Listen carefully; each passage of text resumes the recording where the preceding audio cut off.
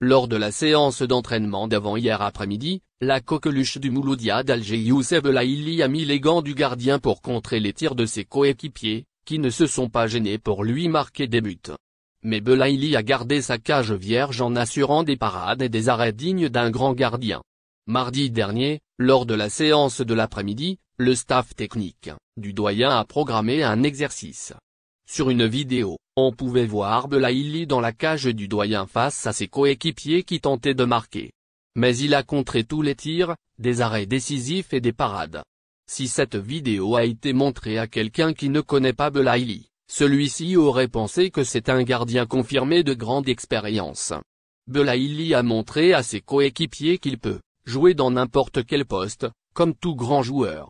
Tout le monde était agréablement surpris par les arrêts de Belaïli qui a inspiré les gardiens de but du Mouloudia d'Alger qui sont avec lui en stage, à savoir Litim, Ramdan et le jeune Belkir. Litim sait que si le MK ne recrute pas de gardien cet été, il aura la lourde tâche de défendre la cage du doyen. Belaïli a donné une leçon au gardien mouloudéen montrant qu'un joueur talentueux garde son savoir-faire dans n'importe quel poste. Belaïli est en train de bosser durement avec sérieux, car il veut sa revanche sur le sort. Il a passé des moments difficiles puisqu'il a perdu sa place en sélection, il veut se révolter. Tant mieux, car les Mouloudéens comptent beaucoup sur lui afin de tirer l'équipe vers les sommets. En somme, Belaïli surprend encore une fois en mettant les gants du gardien et surtout en contrant tous les tirs et en gardant sa cage vierge. On connaissait son rôle de numéro 1 pour diriger les manœuvres, on sait aussi maintenant qu'on peut éventuellement compter sur lui en gardien de but. Pas de doute, Belaïli est un vrai numéro. Le centre de formation de la jeunesse sportive de Kabylie sera relancé. C'est ce que nous avons appris de sources surproches de ce dossier. D'ailleurs, c'est à ce titre qu'Aziz qui a été nommé responsable des grands projets du club plus précisément au poste de chargé de la coordination et de l'investissement et des grands projets. Kial, qui a été toujours très proche de la direction du club depuis l'avènement de Sherif Melal, est justement nommé par le conseil d'administration de l'ASPA Baroblique JSK pour mener à bien et à terme ce projet du centre de formation mais aussi d'autres projets comme le suivi de la réalisation du nouveau siège du club en attendant la vocation qui sera donnée au terrain propriété du club implanté non loin de l'ex-gare routière de Tizi Ouzou. Par ailleurs, il sera chargé de la coordination entre les directions sportives et administratives. Pour revenir à ce centre de formation, le DTS, Jamel Mena, dans une vidéo postée sur la page du club, a indiqué que ce centre devrait être réalisé au sein même du complexe du Grand Stade au Ahmed. Nous avons engagé des discussions avec le bureau d'architecture ayant réalisé ce stade pour une esquisse du centre et la direction engagera des discussions avec qui de droit pour l'affectation d'une assiette, dira-t-il. Mieux, au sein de cette direction, on ne désespère pas de voir le grand stade devenir propriété du club comme c'est le cas de MC Alger pour le stade de Douera. Sur un autre chapitre, notamment cette interdiction de recrutement prononcée par la CRL, le président Achour Cheloul, que nous avons joint, nous dira que c'est un contentieux hérité de nos prédécesseurs. Et d'ajouter en rassurant les fans, nous sommes en train de tout mettre en œuvre pour son règlement avant la date butoir du 10 septembre les responsables usmistes ont clôturé l'opération recrutement depuis environ 10 jours. Contrairement à la saison écoulée, l'effectif de 2023-2024 est bien étoffé avec des doublures dans chaque poste. La concurrence s'annonce rude dans tous les compartiments. Contrairement à l'année passée, l'USMA a eu son mot à dire au marché des transferts cet été. Le président Sidamed Arabe a recruté six joueurs, en l'occurrence Islam Fetoui, Kamel Soufi, Omar Ambarek, Sekou Konaté, Jubak Shirani et Mohamed Amin Bouziane, avant que le manager sportif Taoufik Korichi ne prenne le relais en engageant Oussama Berkat, Ossine Deiri, Nabil Lamara, Kérodine Toual, Abdoulaye Kanou et Abdelmoumen Sifour.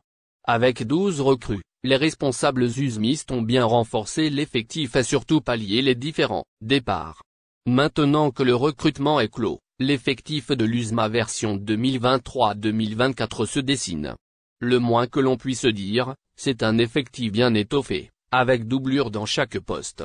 Ainsi, on s'attend à une rude concurrence dans tous les compartiments. Gardien de but, Bimbo, Soufi et Sifour, qui aura le dernier mot? Après le départ de Mohamed Lamine Zemamouche, qui n'a pas eu droit à un nouveau contrat, avant qu'Imad Benchlen ne lui emboîte le pas, l'USMA a engagé les deux gardiens de but Kamel Soufi Dumko et Abdelmoumen Sifour de RC Arba. Le premier, l'un des meilleurs gardiens de but en Algérie, sera sans doute un concurrent sérieux pour Oussama Bimbo. Quant au second, il ne compte pas se contenter du rôle de l'éternel remplaçant puisqu'il va défier ses coéquipiers, pour une place de titulaire, après un passage réussi au RC Arba. Les trois gardiens de but vont disputer une seule place. Il reste à savoir qui va s'imposer en numéro 1.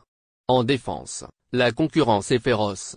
Dans l'axe, Zinedine Belay, Adem Alileh, Mustapha Bouchina et Ossine Deiri vont disputer une seule place. Sur les flancs, Saadi Radouani, Oussama Berkat, Nabil Lamara et Jubak Shirani vont lutter pour deux places, soit une sur le flanc droit et l'autre sur le flanc gauche. Une concurrence qui va se répercuter positivement sur leur niveau puisque chacun va redoubler d'efforts pour s'imposer. Il faut dire que le compartiment défensif est bien étoffé par rapport à la saison écoulée, au grand bonheur de l'entraîneur Abdelak Benchika. Milieu de terrain, 7 joueurs pour 3 postes Luzma a gardé l'ossature dans l'entrejeu après avoir prolongé Oussama Kshita Ibrahim Benzaza. Après le recrutement d'Omar Ambarek, Kérodine Toual et Sekou Konaté et en présence de Tahar Ben Khalifa et Islam Merili, on peut dire que la formation de Soustara renferme un milieu de terrain royal. 7 joueurs pour 3 places, ça va se bousculer dans l'entrejeu. Attaque, Benchika a le choix du roi tout comme les autres compartiments. L'attaque de l'USMA version 2023-2024 est bien étoffée. Avec Mohamed Amin Bouziane, Islam Fetoui, Mohamed et Eladj, Khaled Bousseliou et Tumizan Oreboni sur les ailes, Smaï Belkacemi et Abdoulaye Kano en pointe, l'entraîneur Abdelak Benchika aura le choix du roi pour composer son attaque. Reste à savoir les trois attaquants qui vont former la ligne offensive, de la formation usmiste à l'entame.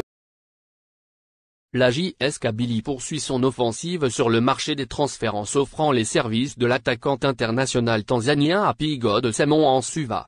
Il s'agit de la douzième recrue de la formation kabyle qui a dégraissé en parallèle son effectif en se séparant de 14 joueurs. Après une saison catastrophique durant laquelle elle n'a assuré son maintien en Ligue 1 qu'à l'issue de l'exercice, la JS Kabylie aura un visage new look à l'occasion de la saison 2023-2024. En effet, après avoir renforcé son staff technique, en désignant notamment Jamel Mena comme nouveau directeur sportif, la direction du club Kabyle a opté pour un changement radical dans l'effectif en se séparant de plusieurs joueurs et en en recrutant d'autres. Juste après la fin de l'exercice précédent, la JSK, sous l'impulsion de son nouveau propriétaire Mobili, a décidé de résilier les contrats de pas moins de 13 joueurs, dont deux gardiens de but. Après avoir libéré le Burkinabé Mohamed Lamine Ouattara et l'attaquant Redouane Zerdoum, la JSK a décidé de se séparer de 12 autres joueurs, Juba Oukassi, Liban Youssef, Abderrahman Mejadel, Mohamed Gemrou, Yassine Genina, Mustafa Alili, Fatet Allah, Yassine, Sali, Sabri Ressia, Liban Youssef, Yassine Sidi Salah et le Bosnien Samir Smajlagic. En parallèle, le club le plus titré en Algérie a fait signer une dizaine d'autres nouveaux joueurs, et ce, au niveau des trois compartiments. La JSK s'est lancée dans le mercato estival en faisant signer fin juillet quatre joueurs, le gardien de but Ramani, ex-CS Constantine, le défenseur Mahameri, ex-CS Constantine, l'attaquant Birkan, ex-Olympique Agbou, et l'attaquant Faïk, ex-NC Magra. Sept autres joueurs sont venus par la suite renforcer les rangs kabyles, à savoir, Driss, Binda, Amran, Amrich, et Samatouti, Bella Yeliv. L'international tanzanien en suva signe pour deux ans à la JSK mais la JSK a dû attendre la dernière journée du mercato estival pour s'offrir sa recrue farde, la saison. En effet, la direction Kabyle a annoncé le 28 août la signature de l'attaquant international tanzanien Happy God Semon en Suva. Âgé de 29 ans, le joueur tanzanien s'est engagé pour deux saisons avec les jaunes et verts. De l'avis des spécialistes, en faisant signer cet attaquant tanzanien, la JSK a réalisé l'une des meilleures affaires de ce mercato estival. polyvalent et pouvant évoluer sur tout le front de l'attaque, celui qui est connu sous le nom de Simon Ansuva compte 76 sélections pour 19 buts inscrits avec la sélection nationale de la Tanzanie. Le joueur qui a évolué la saison dernière au club soudien d'Al-Kapsia a joué par le passé dans deux clubs marocains.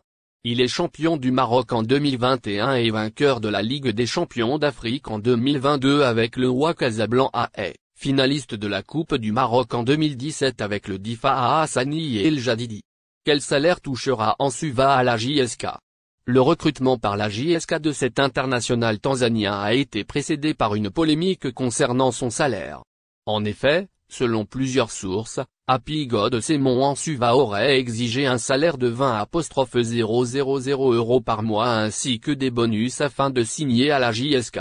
Un salaire qui ferait de lui l'un des joueurs les mieux payés du championnat d'Algérie. Selon le journal Compétition, Ansuva a signé à la JSK pour un salaire d'environ 300 millions de centimes par mois, équivalent de 20 000 euros au marché interbancaire, le joueur sera payé en dinars algériens et c'est lui qui s'occupera du transfert de son argent,